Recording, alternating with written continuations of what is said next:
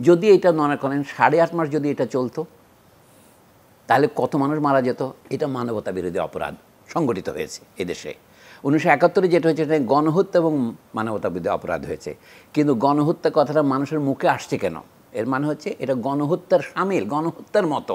মুক্তিযুদ্ধের সময়ের বাংলাদেশের সাথে দু হাজার চব্বিশের তুলনা করলে, এই যে বিভিন্ন শ্রেণি পেশার মানুষ, ছাত্র, জনতা, শ্রমিক থেকে শুরু করে মধ্যবিত্তরা পর্যন্ত মধ্যবিত্তের মধ্যে যারা কখনো ঘর থেকেই বের হননি, যারা ঘর সামলাতেন সেই মায়েরা যখন নেমে এসেছেন, এটার তুলনাটা আপনি কীভাবে করবেন মুক্তিযুদ্ধের সাথে? বাংলাদেশের বর্তমান বিদ্যমান সংবিধানেও যে কথা লেখা আছে, সমস্ত ক্ষমতার উৎস জনগণ। স্প্যানিশ ভাষায় একটা চমৎকার স্লোগান আছে, বলে এল পুয়েবলু ইউনিদো হামাস সেরা বেনসিদো আক্ষরিক অনুবাদ হচ্ছে এটা, জনগণ যখন ঐক্যবদ্ধ হয়, তখন তারা কখনো পরাজিত হয় না। এল পুয়েবলো ইউনিদো হামাস সেরা ভেনসিদো people united will never be vanquished এইটা উনিশশো একাত্তরেও প্রমাণিত হয়েছে, এবারও প্রমাণিত হয়েছে। পার্থক্যের মধ্যে এই যে উনিশশো একাত্তরে যারা আক্রমণ করেছিলেন, তাদের একটা বাড়তি পরিচয় ছিল, তারা বিদেশি। রাষ্ট্র হিসেবে পাকিস্তানের হলেও তারা পশ্চিম পাকিস্তানি, তারা পূর্ব বাংলার, পূর্ব পাকিস্তানের, বাংলাদেশের জনগণের উপর হামলে পড়েছিলেন। এই ভরসা যে তারা তাদেরকে দমন করতে পারবেন। সেবার সশস্ত্র যুদ্ধের মাধ্যমে দেশ স্বাধীন হয়েছিল প্রায় সাড়ে আট মাস পর।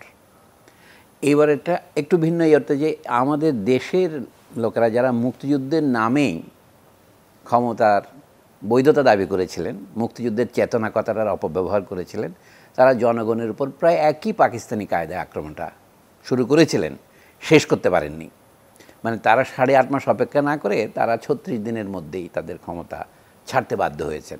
গোড়া থেকে যদি বলি। কিন্তু এর আগের যে পনেরো বছর, তাতে কি কম মানবতা বিরোধী অপরাধ হয়েছে?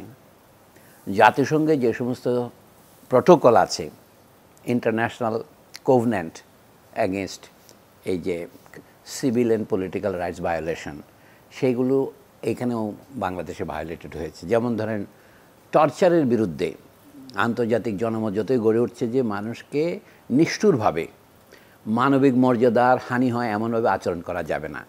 এটা কি আমাদের দেশের বিভিন্ন আইন শৃঙ্খলার নামের বাহিনী করেনি? সবগুলি কি আমার মনে হয় যদি আমরা হিসাবে নেই। এদিক থেকে বলতে বলে পাকিস্তান আমলের সাথে তুলনা করছি।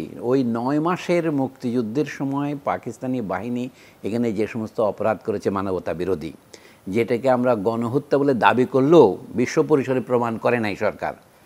বর্তমানে এই যে পরিসর, আমি দুই ভাগেই বলব এটাকে, সত্যের খাতিরে। শুধু গত পনেরো বছরে নয়, গত আওয়ামী লীগ সরকারের আমলে নয়, এর আগের সামরিক আমলে, তারও আগে বিএনপি আমলে এবং আরও পিছনে যেতে থাকে না। আমি অতি পিছনে যদি নাও যাই, উনিশশো নব্বইয়ের একটা নাগরিক গণ অভ্যুত্থান হয়েছিল।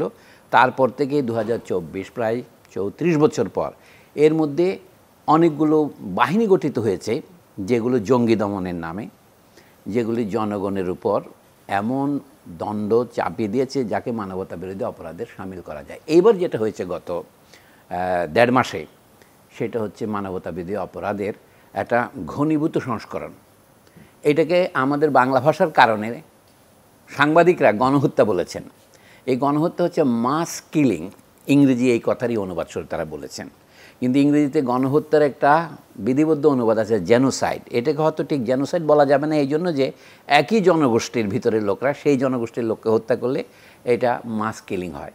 ঔপনিবেশিক আমলের কথা বলি, উনিশশো উনিশ সনে পাঞ্জাবের জালিয়ানওয়ালাবাগে এপ্রিল মাসে ইংরেজরা যে খোলামকুলি মেশিন গান থেকে গুলি করে প্রায় সাড়ে বারোশো মানুষকে মেরেছিলেন, যেটাকে আমরা জালিয়ানওয়ালাবাগ হত্যাকাণ্ড বলি। ওটাকেও গণহত্যা বলে না।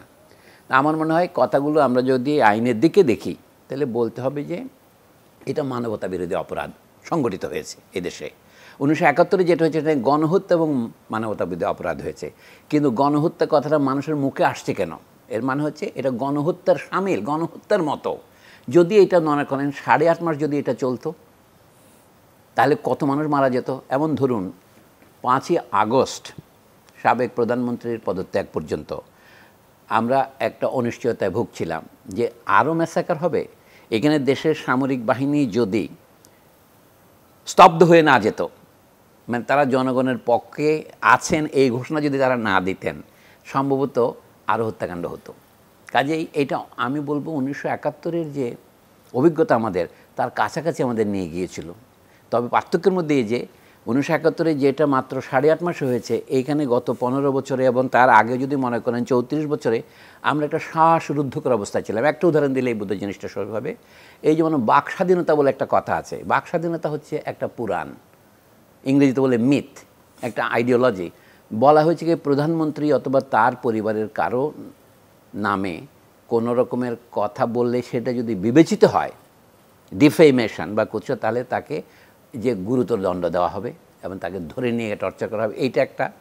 যে যে কোনো নাগরিক সমাজে, বিশেষ করে যে সমস্ত দেশ নিজেকে গণতন্ত্র বলে দাবি করে, সেখানে যারা শাসন ক্ষমতার দায়িত্বে আছেন, জনগণের তো দায়িত্ব, কর্তব্য, শুধু অধিকার নয়, তাদেরকে সমালোচনায় রাখা। এবং সমালোচনার অংশ হচ্ছে তাদের নিয়ে ব্যঙ্গচিত্র আঁকা। এটা পৃথিবীর সব জায়গায় পাঞ্চ ম্যাগাজিন ক্যারিকেচার এটা তো কথাই। এখানে ক্যারিকেচার নিষিদ্ধ ছিল। রসিকতা করা যাবে না। সর্বশেষ যে নাটকটা হলো, সেটা হলো রাজাকার শব্দ নিয়ে। আমরা জানি পাকিস্তান আমলে যারা পাকিস্তানি সেনাবাহিনীকে সহায়তা করেছেন যুদ্ধ অপরাধী মানবতা বিরোধী অপরাধী, তাদেরকে রাজাকার বলা হয়। তাদের নানা রকমের শাখা আছে আল বদর আল শামস এগুলো ছিল।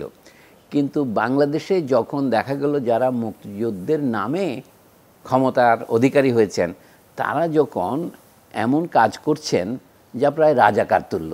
তখন মানুষ তাদেরকে রাজাকার বলতেই পারে। অর্থাৎ কথা হচ্ছে লোকের সকালবেলা আমির যেজন, ফকির সন্ধ্যাবেলা। অর্থাৎ গতকাল যিনি মুক্তিযোদ্ধা ছিলেন, তিনি আজকে রাজাকারের ভূমিকা অভিনয় করছেন, তাকে তো বলা যেতেই পারে। মানুষ বলে, কিন্তু উল্টা হলো কি? শাসন ক্ষমতার উচ্চতম আসন থেকে বলা হলো, আমি কি কোটা মুক্তিযোদ্ধার নাতিপুতিদের জন্য রাখব না রাজাকারের নাতিপুতির জন্য আসব? পরবর্তীকালে তিনি বলেছেন বলা হচ্ছে আমি এটা বলিনি। কিন্তু বলা তো রেকর্ডে আছে। এইটাকে আমি বলি? তখন ছাত্ররা যে তাকে ব্যঙ্গ করে জবাব দিলেন। ব্যঙ্গ এবং বিদ্রুপ হচ্ছে রাজনৈতিক সমালোচনার অঙ্গ। বললেন যে না তুমি কে আমি কে রাজাকার রাজাকার? এটা তো ব্যঙ্গ। এই ব্যঙ্গকে তারা মনে করল বাচ্চার্থে বলা হয়েছে। আমি পরের অংশটাও বাদ হ্যাঁ, পড়ে গেল হ্যাঁ, কে বলেছে, কে বলেছে। স্বৈরাচার স্বৈরাচার এই কথা না বলার এই জন্য বলছি দেশে যখন গণতন্ত্র থাকে না, যখন স্বৈরতন্ত্র কর্তৃত্ব গ্রহণ করে, তখন সকলের এই দুর্গতি হয় যে ভাষাও নষ্ট হয়। ইটালিতে, জার্মানিতে ফ্যাসিবাদ বা নাৎসিবাদের সময় ওইকালকার বিশেষজ্ঞরা বলেন, তাদের ভাষাকেও ফ্যাসিবাদ নষ্ট করে দিয়েছিল। এখনও তো আমাদের ভাষাকে প্রায় নষ্ট করার পর্যায়ে তারা নিয়ে গিয়েছিলেন। সেদিক থেকে বলব উনিশশো একাত্তরের পরে আমার কীরকম মনে হচ্ছে বলেন আজকে আসার সময়? বাহাত্তর সনের ডিসেম্বর একাত্তরের ডিসেম্বর, বাহাত্তরের জানুয়ারিতে যে ধরনের একটা আকাশে বাতাসে মানুষ বলতে কি সবাই এখন সমান হয়ে যাবে। এখনও সেরকম একটা কথা বাজারে আছে, আমি জানি না এটা বাস্তবায়িত কতটুকু হবে না, আমরা সেই একই অভিজ্ঞতার পুনরাবৃত্তি করব। এখন বলছে বৈষম্য বিরোধী ছাত্র আন্দোলন, কথাটা জনপ্রিয়তা পেয়েছে। আমরা আশা করি কিছুটা হলেও বৈষম্য কমবে।